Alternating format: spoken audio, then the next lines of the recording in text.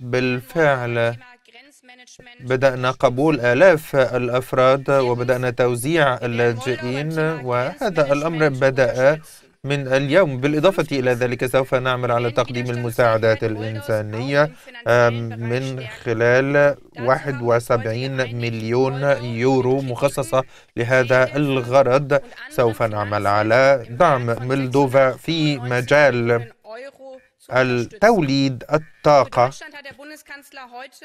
نظرا لأن هناك نقاط ضعف مختلفة في هذا القطاع سوف ندعم الحكومة المولدوفية في جدول أعمال الإصلاح والعدالة ومكافحة الفساد والتنمية الاقتصادية. وسوف نعمل على دعم بلدوفا فيما يتعلق بإدارة الحدود. خامسا سوف ندعم القدرة على المقاومة ماليا حيث سنقدم القروض والدعم للقطاع المالي من خلال 96 مليون يورو.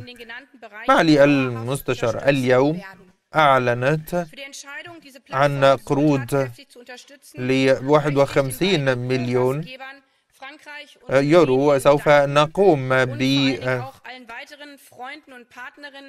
نحن نقول بأن نحن فقط في بداية هذه الأزمة وكل المؤشرات تقول بأن هناك تبعات ولذلك فإن مؤتمر الصحفي هذا ليس ختام لعملنا المشترك لكنه نقطة انطلاق لمزيد من التعاون على المدى الطويل مع مولدوفا بعد الظهيرة خمس مجموعات عمل سوف تبدأ. في اجتماعاتها لتقديم الدعم لمولدوفا على المدى الطويل. ستكون هناك جلسات لدعم هذه المنصات. وأود أن أتقدم بالشكر لفرنسا ورومانيا الدول المستضيفة ولكل الشركاء الذين تحملوا مسؤولية تنفيذ قرارات اليوم إن رئيس الوزراء يمكنني أن أؤكد لك بأننا بالفعل لدينا الإصرار والعزيمة. الأمر لا يتعلق بمولدوفا فقط أو أوكرانيا فقط ولكن أوروبا وقيمنا المشتركة والموحدة. نحن نريد تحديد المصير الذاتي وسوف تكون لدينا الفرصة لأن نعيش بهذه الطريقة. نشكركم. شكرا جزيلا. Bref, il n'y a rien changé depuis le début du conflit. أنا سعيد للغاية بهذا المؤتمر الثامن لدعم مولدوفا. في سياق صعب للغاية من أجل التعامل مع حرب ضد دولة مستقلة. إن روسيا تحاول أن تستغل هذه الحرب. وأن تغزو هذا هذه الدولة بالرغم من أن هذا الواقع قد يتغير إن المفاوضات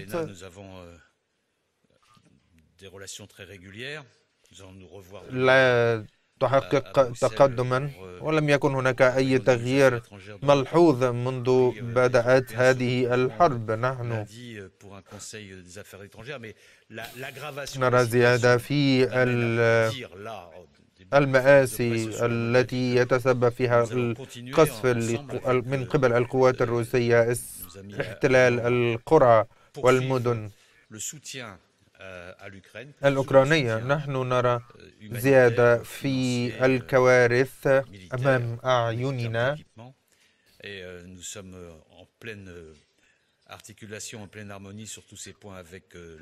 إننا نقول بأن أننا سوف نجتمع غدا في بروكسل. اجتماع لوزراء الخارجية. و لمناقشة الوضع وهذا يجعلني في بداية المؤتمر الصحفي بشأن مولدوفا أقول بأننا مع أصدقائنا من ألمانيا. نحن سوف نواصل دعمنا لأوكرانيا من حيث المساعدات الإنسانية والمساعدات المالية والمساعدات العسكرية.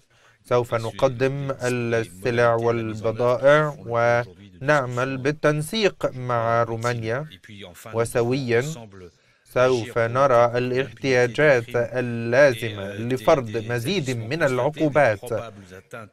في حال ازدادت صعوبة الوضع وهذه المآسي التي نرى. نحن نحتاج لإطلاق حزمة خامسة من العقوبات.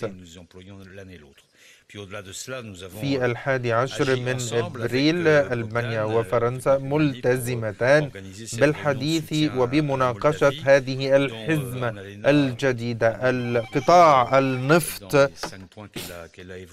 والغاز يتضمن مزيد من التركيز. نقوم بمداولات ونحتاج لأن نعمل على منع هذه الجرائم وألا تمر دون محاسبة وألا تكون هناك حصانة. هذه الجرائم لابد ألا تكون لها حصانة. سوف ننظر ما الذي علينا أن نفعل في هذا الصدد.